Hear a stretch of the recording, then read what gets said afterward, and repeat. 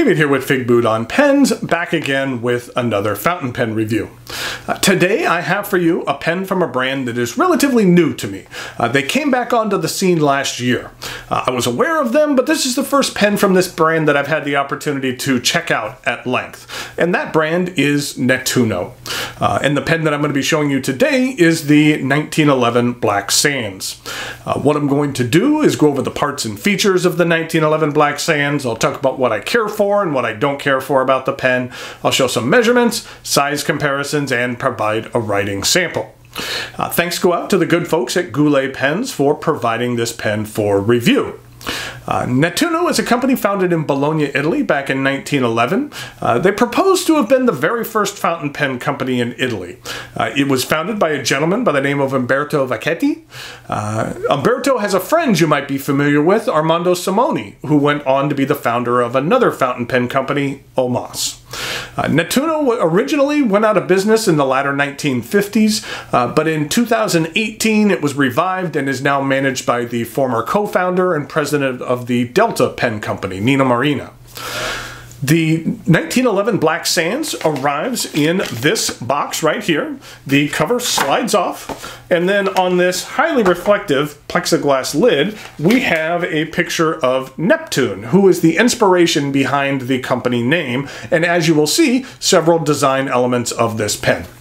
The lid slides open, and nestled in this little bow tie cutout is the pen. Uh, this box, uh, especially this cutout, is very reminiscent of many Delta's uh, boxes. Uh, given Nettuno's association with that brand, then this is understandable. Uh, and here we have the pen, the Nettuno 1911 Black Sands. Uh, there's a number of different color options in their 1911 series, uh, which should not be confused with Sailor's 1911 series. Uh, this pen is made from a resin and has a very nice matte finish. I really like the feel of this material a great deal. Um, all of the trim on this model is ruthenium plated, uh, which helps gives this pen a bit of an aged look to it. Uh, let's start by taking a look at the end of the cap. Uh, inlaid into the top of the cap is a ruthenium plated disc with a raised wave-like pattern. Uh, this is meant to represent the ocean. Uh, in Roman mythology, Neptune is the god of the sea, uh, basically the counterpart of the Greek god Poseidon. Uh, near the top of the cap here, we have two bands, and then nestled between the bands is the clip. Uh, at the top of the clip, there is a raised trident, Neptune's weapon of choice. Uh, the clip is a bit on the short side. I, I might have liked to see this clip extended just a little bit, maybe about a quarter inch or so. The end of the clip has a ball which functions well in being able to operate this clip with thinner fabrics or thicker fabrics like the pockets of uh, jeans. Uh, the cap is straight and at the end of the cap, there is another ruthenium band, uh, devoid of any branding or markings. And then we have a rounded step down to the barrel. Uh, the barrel is straight as well. Uh, on it we have two bands with a repeating raised archway pattern. Uh, the arches in the rings are designed to mimic the arches and porticos which are found in abundance in Bologna. Uh, a portico on a building serves kind of a purpose of making the sidewalk besides the building uh, accessible but extending the upper floors of a building all the way flush with the street. Uh, between the bands on the barrel, uh, it is engraved with the company name, Nettuno, uh, then spelt out 1911 and made in Italy. Uh, I like the looks of this engraving. I kind of like the looks of that it's a little bit different. It actually has three different fonts, which I find interesting. The last portion of the barrel angles down slightly and at the end, the, the end is flat and has the number of this pen. Uh, now these pens are not numbered editions. Uh, think of it more like a serial number. Uh, I wish the number on my specific pen was a little bit more centered, however. Uh, also, for my specific pen, I am not certain whether or not this is pen number 909 or if it is 6060. Uh, my guess is 909, but still, I thought that that was an interesting conundrum. The cap twists off to reveal this Bock number six uh, ruthenium coated steel nib, which is available in extra fine, fine, and medium. Uh, I like the use of laser engraving on this nib. Uh, the Nettuno N is displayed on the nib in negative space, which I think looks really nice. And here's a look at the plastic feed.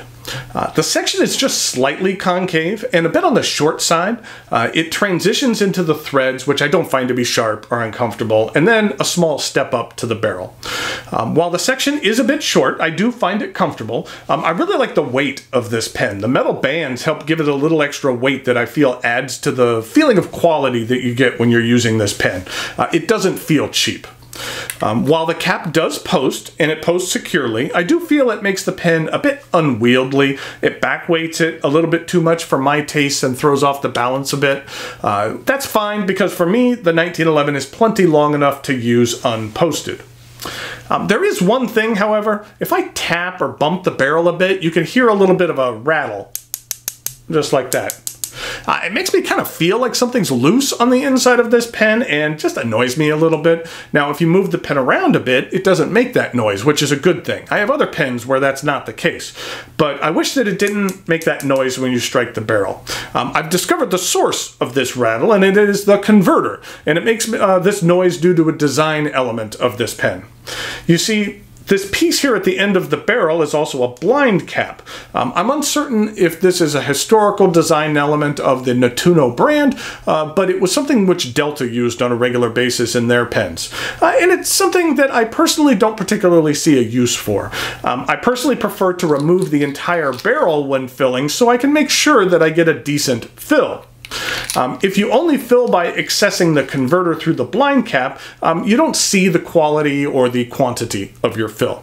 Since there is the need for threads in this blind cap, the area which the converter can occupy in the barrel is constricted, and when you tap the barrel, this long metal extension of the converter, which is necessary for it to reach through the end of the barrel, hits against this metal piece. Um, it's not the worst sin ever, but something I felt could have been avoided. Now, something else in regard to the converter, which I feel was a wise design choice, is that it is threaded. So if you happen to be filling the pen via the blind cap, there isn't a risk of you accidentally pulling the converter out of the section, potentially making a mess inside the barrel. Um, besides this included converter, uh, the 1911 accepts standard international cartridges, both long and short. The standard retail price for the Nettuno 1911 Black Sands can vary. Uh, you typically see it in the mid to high 300s, uh, but Goulet Pens has recently actually reduced the price not only on this Black Sands model, but all of their Nettuno line they carry to $195, which I have to say is an excellent price. Uh, at that price point, I feel this pen is an excellent value. Uh, as I mentioned before, I really like the weight and feel of this pen. It feels very solid. Uh, I love this matte black resin and feel that the ruthenium plated trim really matches well with the overall design and look of this pen. There's a couple of minor things that I would change, but overall I am very much enjoying this pen. Uh, being the first Nettuno I've had a chance to spend significant time with, I'm impressed. So now it is time to take a look at some measurements, size comparisons, and a writing sample.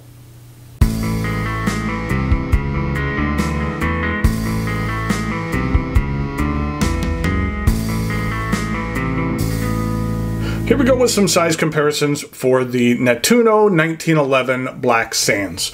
Uh, since this company has some ties to Delta, uh, this is what it looks like in regard to a couple of Delta models. This is the Dolce Vita Oro. Uh, then this is what it looks like with a Dolce Vita Oversized. Uh, and then, since it shares the same name, this is what it looks like with a Sailor 1911.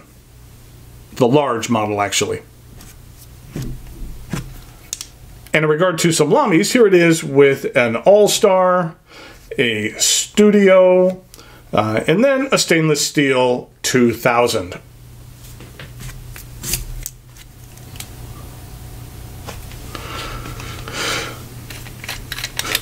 So here we have the Nettuno 1911 Black Sands.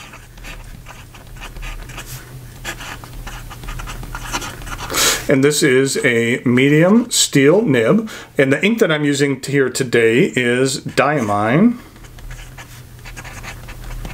Pumpkin.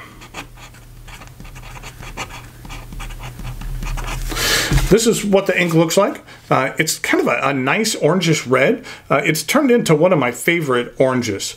Uh, here it is in comparison to the Robert Oster Pen Addict Fire on Fire, uh, and then also something like more of a vibrant orange, which is the Akkerman Orange J. Bovin. But I'm really liking this Diamine Pumpkin.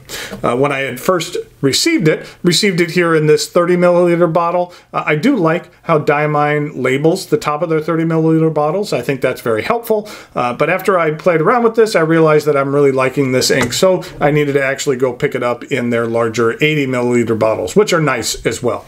So here we go with the rest of the writing sample.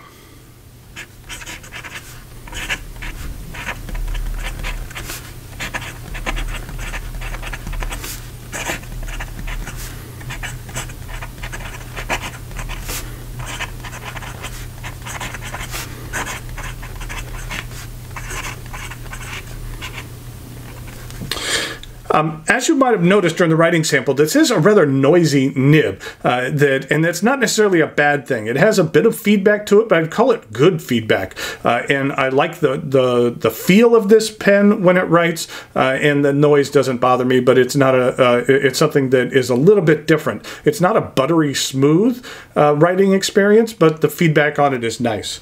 You can get a little bit of line variation here out of this pen. Uh, this Bock nib I found is to be nice. It's actually better than uh, a lot of the Bock nibs that I've tested in the past. But uh, this one is very nice. In regard to ink flow, it does a good job there. In regard to reverse writing,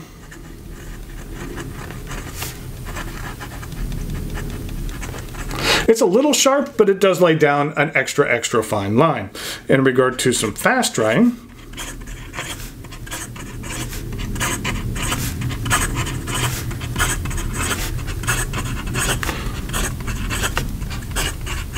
there was some skipping issues here at the end, but I think that's more in the angle I was holding the uh, uh, the nib. I haven't had any issues at all with the feed on this pen, so I think that was more me than the pen.